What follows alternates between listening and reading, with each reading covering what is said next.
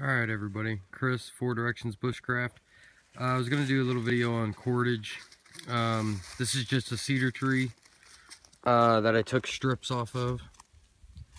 Um, you want to get below this this outer outer bark layer. This is what I make all my tinder bundles out of normally. You want to get below that and into this fleshy white uh, white part. There's three layers. So you got this outer layer you got a red you got this red layer and then you have this white inner layer. So you got to get strips off of that and uh, it'll just peel off. And uh, then you got to process it down. I have some processed down and uh, we'll be back and I'll show you that here in just a little bit stay tuned Hey everybody, Chris, Four Directions Bushcraft.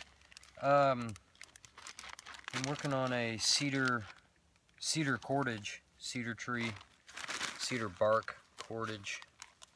And um, so I processed all this cedar bark down and uh, I've got it into fine strands and I'm going to start a new cord. This I did the other day and I have to soak it in water constantly. Uh, it's wintertime and it doesn't have a lot of sap in it or anything. And um, when it dries out, it starts to kind of untwist.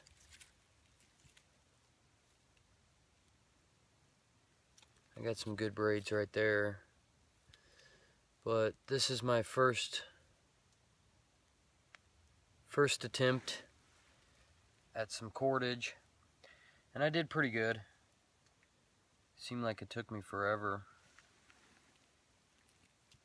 But um, you know if I had to do a bow drill out of this I don't I don't know if it would I don't know if it would hold. So I'm gonna keep practicing. And um, anyway you can see how to do this uh, obviously on a lot of YouTube channels but uh, I'm gonna get a couple of pieces ready and uh, show you how I do it. It's pretty it's pretty much the same way um, as everybody else. Uh, Cody Lundin does it did it a lot on Dual Survivor and um, Mitch from Native Survival does it a lot and all of them guys. So uh, everybody pretty much does it. Uh, it seems like they had a little more luck than I did, but um, still practicing with it and. I will get back to you here in just a second once I I get all this uh, outer bark off of this cedar. I'm gonna put a little water on it and I'm gonna make it a little thinner. I just pull these fibers apart and then I just make it a little thinner each time and uh, I'll get back to you. So what helps me is we don't have a lot of water on us right now so I just kind of chew on this a little bit just to get it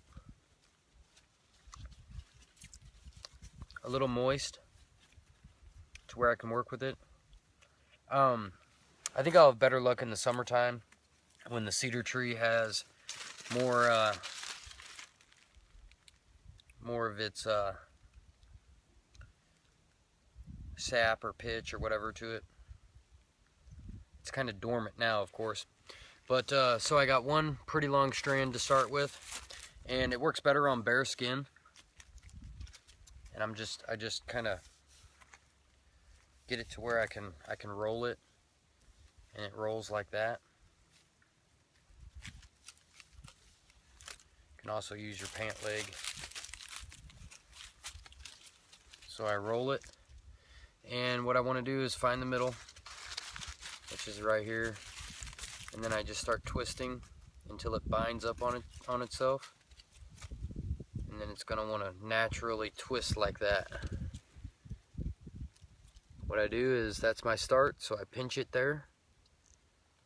Now I have a top and a bottom. And I take that and the top I'm gonna twist away from me and I'm going to catch the bottom with this finger and twist it up. Then I'm going to move my pinch. Twist away from me, grab the bottom, twist it up. Move my pinch. Away, catch the bottom, twist it up, move my pinch. Constantly moving your pinch. It actually wears out the tips of your fingers a little bit, especially working with this hard material like this. I'm sure some um, stinging nettles or something like that would be a little more easier on you. But I'm just going to repeat that over and over as I move down. When I need to add pieces, I'm going to add pieces to these and just keep going.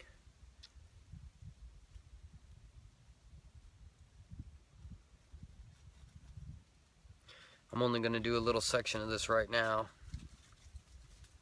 just to show you how I was doing this.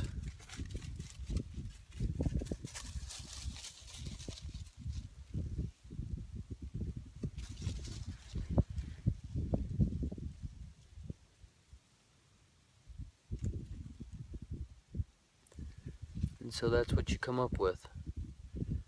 Braided like rope. Just take the top one, twist it away from you, grab the bottom one, and twist it up.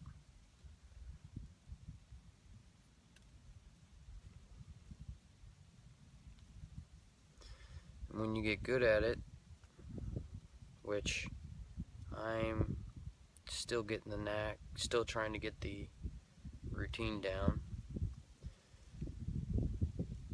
it gets a little more easy and just kind of keep going.